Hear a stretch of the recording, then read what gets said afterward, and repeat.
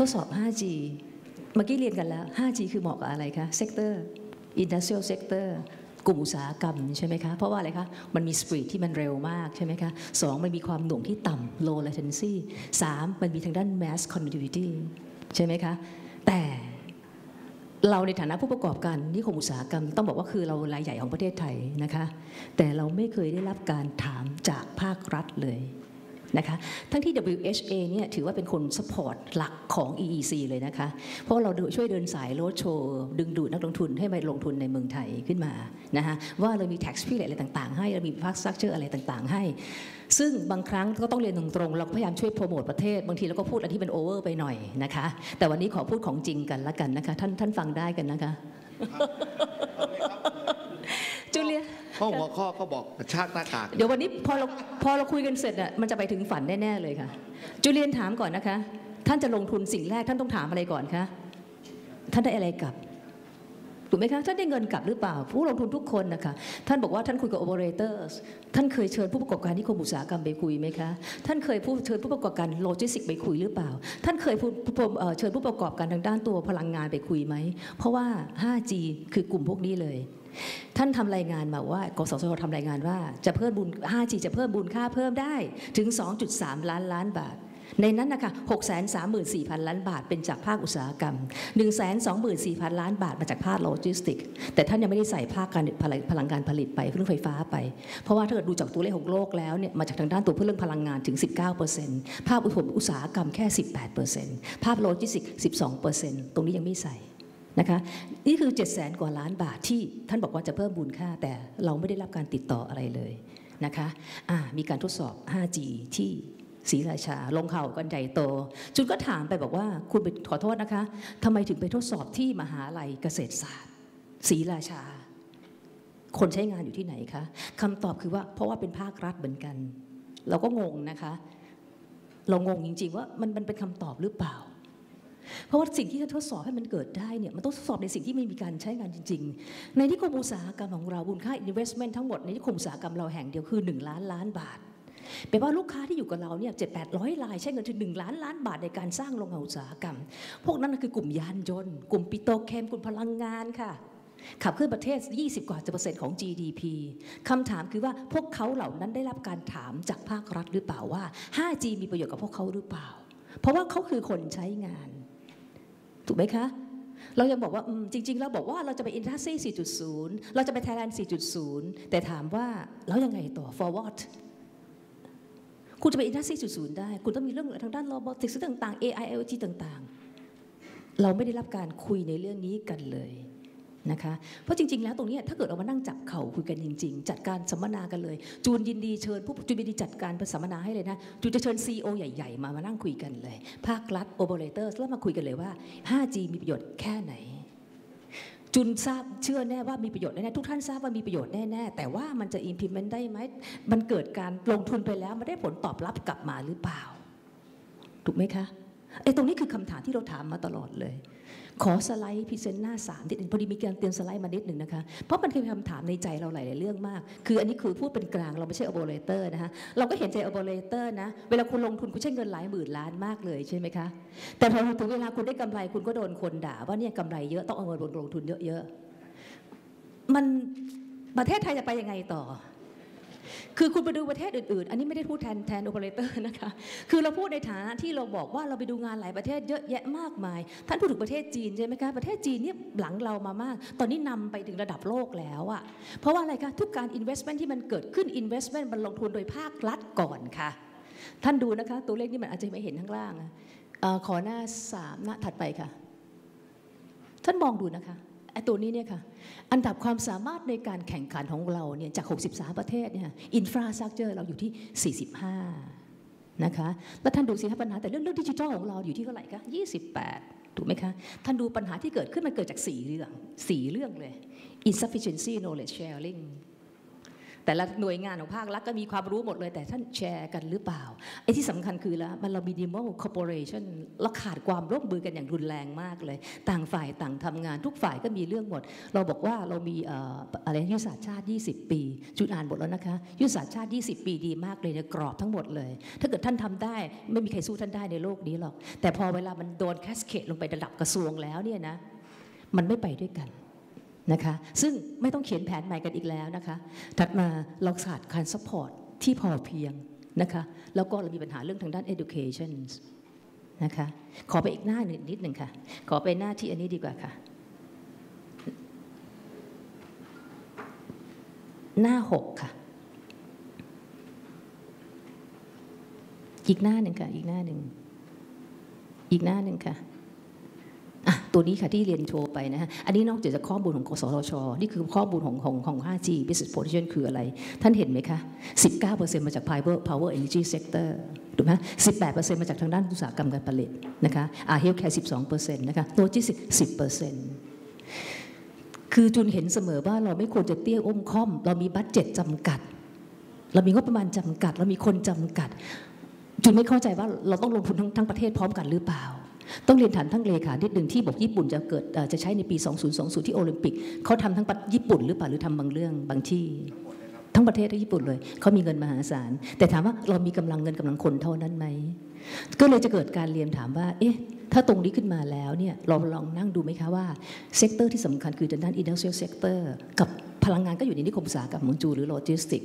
เราลองคุยผู้ประกอบการทางด้านตัวนิคมอุตสาหกรรมไม่ใช่ WHA รายเดียวเรามีหลายรายมาลองคุยกันดูนะคะว่าถ้าเราจะเกิดการทดสอบไอตัว 5G เนี่ยไปคุยเขาก่อนว่าเขาจะเปลี่ยน production line การผลิตของเขาเป็นทางด้านตัว Industry 4.0 ไหม ซึ่งจริง ๆ เรามีเตรียมโปรโมทเรื่อง EC อยู่แล้วในการให้ไปในแนวนั้นอันนี้คือ infrastructure ที่สำคัญ มันจะไป Industry 4.0 ไม่ได้ถ้าไม่มี 5G ถูกไหมคะ ท่านจะไปยังไง ถ้าเกิดท่านไอ้ทางด้านตัวไอ้ความท่านยังมีความหน่วงอยู่แต่มันไม่ออนไลน์กันหรือไม่อะไรกัน ยิ่งแบบยิ่งไอ้ตัวนิคมอุตสาหกรรมเนี่ยพื้นที่ห้าหมื่นไร่ลูกค้าแค่พันรายถ้าลองคิดดูสเปซมันกว้างขนาดไหนอะคะถ้าเกิดท่านสเปรด 5G ทั้งหมดเลย investment ท่านขนาดไหน ถ้าเกิดว่ามองไอ้ไอ้ไอ้ตรงเนี้ยคือเราบอกว่า 5G มันใช้เป็น spot ใช่ไหมคะพอ spot ได้ปุ๊บมันจะลดพลังงาน แล้วมันเพิ่มเรื่อง speed ได้เร็วขึ้น ลดต้นทุนลงอีก อันนี้คือสำคัญมากเลย ถ้าตรงนี้เนี่ยเราไปนั่งคุยกับผู้ประกอบการจริง ๆ แล้ว ให้เห็นภาพว่ามันเกิดประโยชน์จริง ๆ ลองกันไหมทดสอบกันไหมทำ use case กันไหมลองดูจุนคิดว่ามันน่าจะไปถึงฝันได้นะคะ คุณจริพร มุมมองภาคอุตสาหกรรม อยากจะสื่อสารอยากจะทิ้งท้ายฝากอะไรบ้างครับ เชิญครับคุณจริพรครับจริง ๆ แล้วจุนขอเรียนนิดนึงนะคะกับท่านรัฐมนตรีที่เมื่อกี้ท่านพูดเรื่อง EEC มานิดนึงนะคะเอ่อ เนื่องจากว่าข้อนี้เป็นข้อที่เข้าใจกันผิดมาหลายเรื่องเรื่องที่ดินนะคะเพราะรัฐบาลเนี่ยมีการโดนโจมตีมากเรื่องที่บอกว่าปล่อยให้ต่างชาติเช่า 99 ปี ขอขอเรียนข้อมูลนี่คือแฟกต์นะคะไม่ได้แก้ตัวแทนรัฐบาลต่างชาติสามารถซื้อที่ดินในนิคมอุตสาหกรรม ที่ดินในนิคมอุตสาหกรรมนะคะต่างชาติสามารถซื้อได้เป็นฟรีโฮมาตั้งนานแล้วนะคะถ้าที่ดินนอกนิคมอุตสาหกรรม ต่างชาติซื้อไม่ได้ แต่ถ้าเขาได้ BOI เขาสามารถซื้อได้ นะคะวันที่แบบมีการพูดถึงเรื่องนี้กันมากเราบอกเดี๋ยวเดี๋ยวจะไปกันคนผิดทางกันนะคะ ส่วนการที่เขาจะเช่าที่ได้อะไรได้ตามกฎเงื่อนไขที่รัฐบาลกำหนดแปลว่าเขาต้องทำตาม cluster ต่าง ๆ ที่รัฐบาลกำหนดให้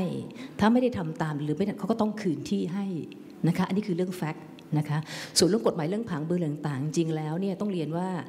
พื้นที่เกษตรกรรมยังเป็นพื้นที่ส่วนใหญ่พื้นที่อุตสาหกรรมไม่ถึง 2%ของอุตสาหของของของเกษตรกรรมเลยนะคะอันนี้คือข้อมูลนะคะแล้วก็ EEC สำคัญกับประเทศไทยมากนะคะอู่ตะเภานะคะที่จะเกิดตรงนั้นขึ้นมา คือมันไม่ใช่แค่เรื่อง High Speed Train ต้องเรียนบอกว่าอู่ตะเภาต้องเกิดสนามบินที่เราบอกว่าจะเป็นมหานครการบินอะไรต่างๆ ขึ้นมา เพราะว่าจะมีธุรกิจใหม่คือทางด้านตัวอุตสาหกรรมทางด้านตัว aerospace นะคะ ซึ่งถ้า Airbus Aerospace Cluster มันเกิดขึ้นได้ มันจะทำให้ตัวประเทศไทยมีการ transform จาก auto ไป aero ซึ่งเรื่องนี้จุนพูดเราพูดมาตั้งนานแล้วเนื่องจากว่าเราบอกว่าเราเองเป็นเหมือน Detroit of Asia เรามี sector ทางด้านยานยนต์ใหญ่อันดับ top ของในสุดใน regional นี้ top ของโลกในการส่งออกนะไหมคะ แต่ตอนนี้เราบอกว่าเราพูดถึง EV ค่ะ พอ EV ค่ะมันไปเราไม่เคยห่วงหรอกค่ะ บริษัทใหญ่ๆเขาเตรียมพร้อมอยู่แล้วที่จะ transform แต่ที่เราห่วงคือ supply chain ทั้งหมด นะฮะเราก็เลยมองภาพกันต่อว่าไอ้ตรงนี้เนี่ยค่ะส่วนหนึ่งถ้าเกิดเราสามารถ transform จาก part auto ไป aero ได้ อู่ตะเภาจะต้องเกิดไอ้ธุรกิจทุก MRO พวก OEM จะต้องเกิดขึ้นมา ซึ่งมันจะมันจะมันมีการ connect ไปกันหมดเลย ถึงทางด้านตัว industrial sector แล้วก็มาถึงเรื่อง 5G พวกนี้เลยค่ะอุตสาหกรรมการบินมหานครการบินทางด้านอุตสาหกรรมด้านโลจิสติกนะฮะตรงนี้ขึ้นมาเราทำนิคมอุตสาหกรรม trade war นี่คือเรารับเต็มๆ เราต้องบอกเลยนะจุนพูดเสมอว่า trade war เนี่ยเหมือนกับทฤษฎีหมูสามชั้น คืออะไรคะทฤษฎีหมูสามชั้นจุนพูดเลยนะ trade war มันไม่จบง่ายๆหรอกค่ะ คนบอกว่าจะจบก็คือตอนไอ้ที่เลือกตั้งประธานาธิบดีหรอกไม่ใช่ ลองดูดีนะคะ trade war trade war มันคือเหมือนกับผิวskin ถัดลงมาคือชั้นไขมันคือ tech war tech war มีเรื่องความมั่นคงเลยนะคะ เรื่องความมั่นคงนี่สำคัญมาก เพราะฉะนั้นไอ้อันที่สามไอ้เนื้อนี่แหละค่ะนั่นคือความมั่นคง เพราะความเพราะว่าถือว่าเรื่องเทคโนโลยีนี้มันกลายเป็นเรื่องทางด้านเรื่องความปลอดภัยที่เมื่อกี้ท่านมนตรีบอกใส่ชิปเข้าไปในอาวุธอะไรพวกนี้เนี่ยค่ะ อันนี้คือเรื่องสำคัญมากหรือการใช้โดรนในการโจมตีเนี่ยซาอุซาอุดิอาระเบียเพิ่งโดนไปอะไรไป นี่คือมั่นคง ยังไงสหรัฐก็ไม่ยอมท่านเทรดบอลไม่ได้จบง่ายๆ ก็โชคดีว่าประเทศไทยได้อายุสงจากเทรดบอลขึ้นมา นะคะใช่เวลาจีนออกมาเขามองทางด้านตัว Southeast Asia ก่อน destination เขามองสองประเทศคือไทยกับเวียดนามนะคะเราก็โชคดีที่ว่าประเทศไทยไม่ค่อยเวลคัมจีนกับไต้หวัน จีนกับไต้หวันก็เลยมาที่ไทยค่อนข้างจะเยอะมากเลยนะคะส่วนประเทศอื่นก็ขึ้นอยู่ที่ว่าเทคโนโลยี ถ้าคนนี้เทคโนโลยีเขาก็จะมาที่ไทย เพราะว่าอินฟราสตรักเจอร์เราดีกว่าเพื่อนบ้านเรา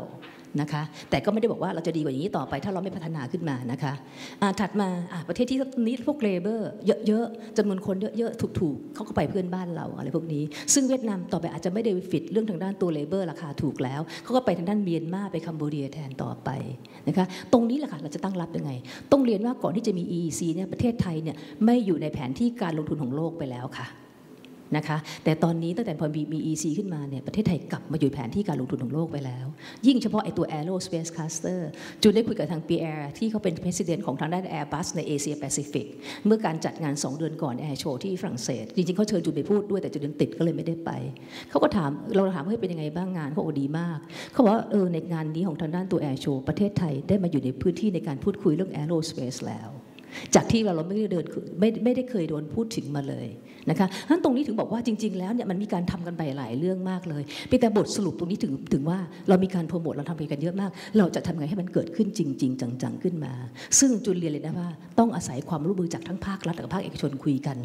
ไม่มีเวลาที่จะมาทะเลาะกัน ไม่มีเวลาที่มาโทษซึ่งกันและกัน ไม่ต้องวางแผนใหม่แผนที่มีมันอยู่แล้ว จับต้องให้ได้ทำงานประสานกัน แล้วรวมพลังกันไปดึง investor ต่างชาติมาให้ได้นะคะตอนนี้คือโอกาสสำคัญในการเคลื่อนย้ายฐานทุนที่สำคัญของโลกนะคะของโลก เพราะเมื่อไรที่เขา set up ที่ประเทศไหนแล้วเนี่ยกว่าเขาจะออกอีกรอบหนึ่งอะอีกหลายสิบปีนะคะมองภาพจีนรอบนี้นะคะที่เขาลงไปเป็น cluster เป็น supply chain ทั้งหมดเลยเขาใช้เวลาประมาณ 30 ปี ตอนนี้เขาเริ่ม move ออก นะคะเมื่อวานจุนที่มีการประชุมกับกลุ่มอิเล็กทรอนิกส์ของจีนนะคะเขามีพื้นที่ในจีน 3 0 0 0 0 0 ตารางเมตร ผลิตเรื่องอิเล็กทรอนิกส์เกี่ยวกับเรื่องโทรศัพท์อะไรพวกนี้นี่แหละค่ะเขามาหาเราแล้วบอกว่าต้องเขาต้องรีบมาไทยอย่างเร่งด่วนแล้ว เพราะว่าอะไรภายในปีหน้าเนี่ยเขาไม่สามารถจะส่งออกไปสหรัฐได้ ต้องสร้างโรงงานอย่างเร่งด่วนภายใน 8 เดือนดูสร้างเสร็จไหมแสนตารางเมตรก่อนเบื้องต้น นี่คือเริ่มเริ่มทะลักกันเข้ามาแล้ว ถามต่อไปว่านี่คือพวกอิเล็กทรอนิกส์นะฮะถัดมาเราคุยต่อว่าแล้วต่อไปพวกนี้เวลาทางด้านพวกทางด้านตัวไอ้เทคโนโลยีมาล่ะเราพร้อมที่จะรองรับเขาหรือเปล่าพูดเรื่องโลจิสติกอาลีบาบาคือลูกค้าของเรารายใหญ่ เขาบอกเลยว่าที่เขาเช่าพื้นที่เราแสนสามหมื่นตารางเมตรใน phase แรกเนี่ยฮะเขาต้องการทำเหมือน Future Park Future Park ที่ทางจีนหมายถึงว่าอะไร อันนั้นคือใช้ระบบทางด้านโลจิสติก 4.0 สมบูรณ์แบบแล้วนะคะ ตรงนี้ขึ้นมาถามว่าเขาต้องการทำที่ตรงนั้นก็ถามว่าประเทศอยู่ infrastructure รองรับกันหรือเปล่าในเรื่องนี้ ซึ่งทุกอย่างก็ลิงก์มาเรื่อง 5G ทั้งหมดแหละค่ะซึ่ง 5G ก็คือส่วนที่มันสำคัญนะแต่จะจะเรียนว่าจริง ๆ แล้วเรามองภาพว่าสำคัญไม่สำคัญนะคะแต่ในส่วนตัวของตัวจุนเองจุนมองภาพว่าจุนไม่แน่ใจว่าเราต้อง spend เงินทั้งหมดในทั้งประเทศหรือเปล่า เรื่องเทคโนโลยีจุนไม่เคยเข้าใจ แต่เรามองภาพดูว่าถ้าเราจับต้องไอ้ตรงนี้จุนพูดจุนชอบพูดเสมอว่าอย่าเตี้ยอุ้มค่อมทำอะไรให้มันเกิดให้ได้ เป็นให้เป็นเพรสเคสขึ้นมาเพราะมันเกิดได้แล้วเนี่ยเราค่อยขยายขึ้นไปเรื่อยๆดีกว่าไหมเงินท่านก็ไม่จม ไม่ต้องมานั่งมองภาพเออแล้วมันเห็นพอพอสโคปพื้นที่มันเล็กลง แต่มันเกิดฟังก์ชันจริง ๆ มันทำงานได้จริง ๆ ตรงนี้เนี่ยค่ะท่านจะกลายเป็นว่าโอเค เป็นฮีโร่ของประเทศเลย ท่านทำได้ ไม่ใช่เราพูดกันแล้วเราก็บอกว่าจะเป็นต้องทำไหมนิดหรือเปล่าอะไรหรือเปล่า ไม่ใช่ จุนก็เพิ่งกลับจากอังกฤษอยู่ที่นู่นนะใช้ Wi-Fi ของเขาเนี่ยนะโทรศัพท์ไลน์กับเมืองไทยสายขาดตลอดเวลาเลยอะไรอย่างเงี้ยค่ะ ซึ่งเราก็มองว่าเออเนี่ยจริงๆแล้วมันก็ยังไม่ได้ช่างตอบโจทย์ทั้งหมด เรามาด้วยทำเงินก่อนไหมคะทำเงินกันก่อนในเรื่องนี้ขึ้นมาอันตรงนี้เดียวว่าจุนเชื่อว่าทางอุตสาหกรรมสำคัญค่ะนะคะ แต่ก็ต้องดูว่าจะลงตรงไหนก่อน เพื่อให้มันคุ้มค่าที่สุดค่ะ